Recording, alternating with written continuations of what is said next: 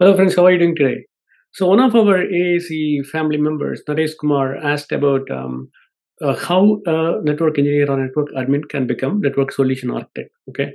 So, for this, um, I'm going to invite my uh, one of the best friends, uh, Pradeep. He has um, very good knowledge about uh, network and network solution architect roles. So, let's go and uh, welcome Pradeep and talk about this topic. Hi, Pradeep. Hey, hi, Govind. How are you? Good. How are you? Good. Okay, so um, in our channel, we um, got a question from one of our um, YouTube ch- channel family member. He was asking about like um, how I can become a network solution architect um, when I perform the role of like network engineer or network admin, so and so. So, what is your thought uh, based on your experience? Right. Yeah. Uh, so what we could do is, I mean, uh, basically for anybody who want to start their career in networking, right? So there are two ways they can start their career. One, somebody, people who are like eagerly want to uh, get a job, right? Initially, so they can start with like an uh, initial stuff. They can start with DevNet or like something le- learning some Python programming or like cloud automation and all these things. So because these are really hot cakes today in the industry, so they can start with those, get a job. But from a long-term experience perspective, definitely they need to go through fundamentals, right? Networking fundamentals. So that that Okay. way things help them really tune their career for a longer period. But Mhm. people who are looking immediate to get jobs, they can, as I said, they can start immediately with Python or like uh, cloud automation or any of the automation courses that can help like pick their careers up immediately. Okay. Nice. So, what are all the roles available in the network area? Because uh, if I came from the development area and also like I, I became an architect from the development background.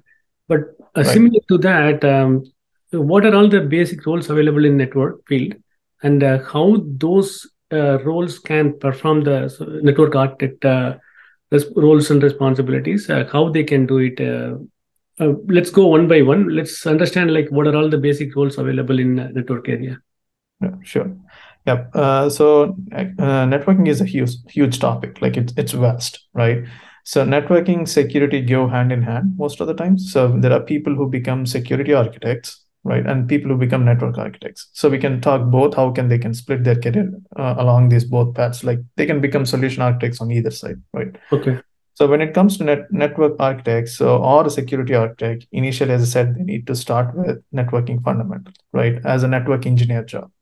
So what gets them a network engineer job? Like as I said, fundamentals. Uh, the good place for them to start would be like a CCNA, like a Cisco certified associate, right? So that's a basic start where they learn the fundamentals initially of a networking, right? That's where they kickstart their career with networking, get a job, become a network engineer. Then eventually they can go. I mean, once they're in the fundamentals, they can split towards like either they want to go in security or network engineer, right? So let's take the path of like networking.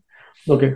So once they start CCNA or like learn the fundamentals, then over a period of time they acquire the knowledge, like fundamental knowledge, right? So then they can do the next level of certifications if they're interested, like Cis, I mean, professional level of certifications, right? I'm taking Cisco as a baseline, but there are a lot of other vendors they can do certifications with, like Juniper, they have like similar certification path. So associate, professional, and expert level certifications, right? Okay. So once they go into professional level, like they get more advanced skills, little more, right? And beyond that, though, before they become a solution architect or expert, they can write like an expert level certification within their domains, right? Cisco certified expert, uh, CCIEs they call.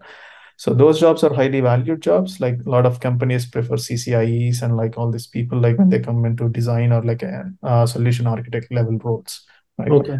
So within that certification, they have a design expert certification level. Like, uh, so people can choose, as I said, like there are way too many paths for them to take uh, to reach that goal, um, depending on where their interest is, how they want to become a solution architect. But to start with, these would be the three stages they can cross to become an architect level like role. Okay. That's that's a good explanation, like how they can uh, start the um, career towards the network solution architect. Thank you for that. And um, uh, wh- what are all the major uh, responsibilities of a network architect when they become a network architect? Because um, completing the certification is one side, but uh, what would be the real time um, experience that our person should have to become a network solution architect? Sure. Yeah. So to become an architect, basically, as I said, like uh, so every company comes with like example we can pick in project, right? They comes with a project, but the first thing they call is like, hey, we want to bring infrastructure guys, like understand what does it take to build certain project or an application, like anything. It can be an SAP, it can be a like HR Access, Oracle product, anything, right?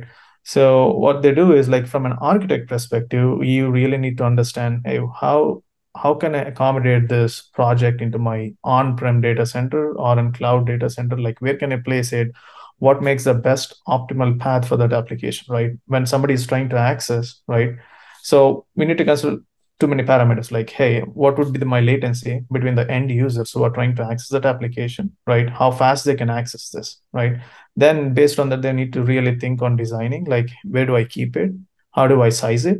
Like, is there a future growth for this application, right? Mm-hmm. Then you need to really size the, uh, your network accordingly to that application. Then the application comes into picture, like then they'll be sizing it accordingly how they want to keep that so from an architect level roles as i said like you need to really scope out what's the requirement based on any project right so what's your current environment how does it look like and how can you fit this project or like product into your environment right mm-hmm. sizing and everything like ip addressing. It can be anything ip addressing routing that helps that application to really accessible to everybody in the company.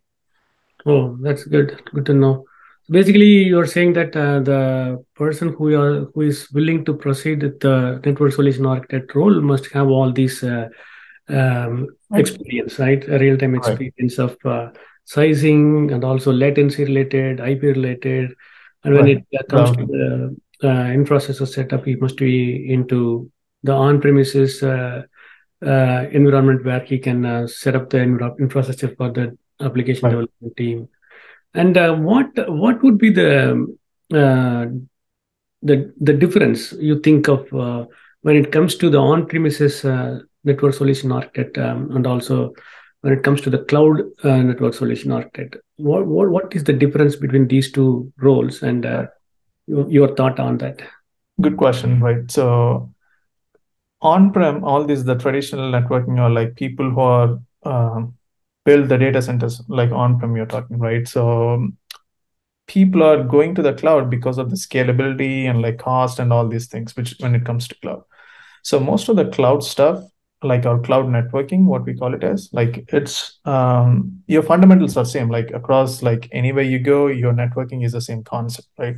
So above it, like there is an overlay how they build the network has changed, or the I mean this cloud completely it has changed. Plus automation which came in like that's where the cloud is way advanced compared to on on-prem. I mean it's not like you can't do an on-prem people who are like doing automations even on that on-prem right? But yeah. cloud is purely getting built on automation. How fastly can i build a network right? To an automation. So when it becomes a cloud network engineer or a cloud solution architect right they really need to scale their skill sets around like automation programming python like understanding trying how can i simplify a daily network engineer operations job, right? I want to spin up a network. I want to spin up like an environment. Like how quickly can we do it? That's in the cloud, right? Okay. When it comes to on-prem, like so latency, as I said, if you're trying to understand where do I place my pro- product, right? How do I make a decision? If you ask me, right, you need to really understand where is my end users first, right? Who are trying to consume this application, right? So what is the closest easiest and fastest way to get to that application, right? If your users are spread across over the internet, cloud would probably make sense because cloud is connected to internet. So that it makes them fast to reach like through the internet to reach their resources, right? So when do I keep it an on-prem? Like when all your users, let's say, are within the four walls within the office, right? So mm-hmm. there is nobody that trying to access your application from outside internet. Your majority of users are within your building or within your private network Right, right. Then on-prem would make sense at that point, like keeping or hosting your application within on-prem. Then you can design accordingly. How can I really optimize this? Okay. So basically, when it comes to this um, on-premises, we are just working on the closed private network, and um, the right. responsibilities of the cloud um, network solution architect would be limited to that uh, private uh, network. And uh, when it comes to the cloud, he should learn more about um, other uh, scalability features that uh, the third party cloud service provider provides. Right. Like, have some knowledge about uh, their um, their tools and technologies that uh, the cloud, cloud services provides, right? Correct. That's exactly right. Like, yes, Amazon or uh, Microsoft Azure, AWS, GCP, anything. Mm-hmm. So underneath, your fundamentals are same, but how they implement that has changed. So they have their own tools or uh, sets that help you to build those networks. So you just need to learn those things, how mm-hmm. you can build, like you utilize those tool sets to build the network. When it comes to on-prem, because it's on-prem, you already know you you guys would have built your on-prem stuff. Like right. that, that's it, that's what it makes sense. Like so that's how you decide where you keep your application. Okay. All right. So you mentioned about a couple of certifications, right? Uh, I don't remember it, but I'll put it in the description below when I submit this video. But those certifications um, are sufficient for a person to become a uh, network solution architect, or on top of that certificate, he should uh, go for any cloud service provider certifications too. So Cisco recently advanced their certification. They refreshed their whole like um, agenda within the certifications. Right. Previously, there was not too much of automation in those certifications because the world is changing so fast. They accommodated automation within their certifications recently. Right. But once they become like, as I said, the CCIE level of certifications, it's highly valued across cloud engineers or an on-prem engineers, it doesn't matter. Like, so it's a highly valued certification across the industry in networking. So once they reach that level of certifications, it's pretty good for them, or like they can really become a solution level architects on them. But to even to do that certifications, I believe you need a minimum working experience. They recommend it's not like you can't do without an experience, but they would recommend having a real-time experience before you write an expert level certifications. Okay. That's how you become like solution expert. Those are one of it. Like uh, Cisco is one example as I give you, but Juniper has their own expert level of certifications. So they can even study those within, like underneath, as I said, fundamentals are same across all the networking skill sets. Okay. Uh, so you, finally, you're saying that those certifications related to the network is uh, is totally sufficient, yeah. or uh, the person should go for any uh, cloud service provider certification. It's additional thing, or it's uh, necessary to go for uh, uh, cloud service provider certifications.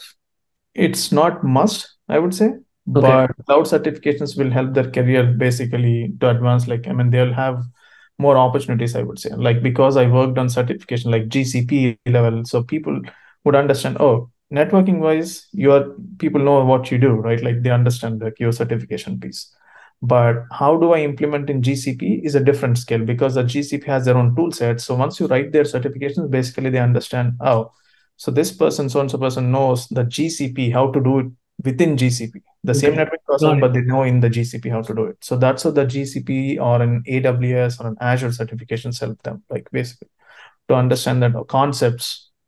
Uh, it can be done differently, right? Like any project or any solution can be done in 10 different ways. That's the only thing difference I would suggest on that one. Oh, okay. Nice. Thanks.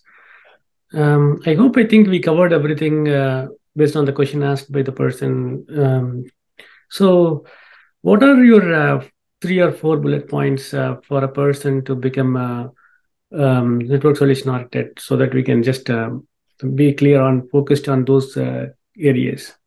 Sure so once they do their fun, uh, fundamentals like as i said even once you finish your like certification doesn't mean that's a stop for your professional growth. They got to still keep uh, learning new skill sets right? Like the whole automation come into picture these days. So they need to learn python like on like any other scripting tools that will help their daily operation jobs much much easier right? So they have to keep uh, educating themselves or like learning more and new stuff new technology so how can they improvise on top of their existing skill set so those are the stuff like I, I would suggest or recommend for people who are really looking for career in that. So always keep reading and like do something different, like or read something different, like see how you can bring those new ideas into your existing environment. Okay. Thank you so much, Pradeep. Uh, it was very nice talking to you. Yeah, and uh, we'll connect with another interesting topic soon. Sure. Go Thank you. Thanks for the opportunity. See you. Bye. I have provided all the details and links in the description below and hope you will like this video. If you like this video, give thumbs up And uh, do not forget to subscribe this channel. Take care. Bye.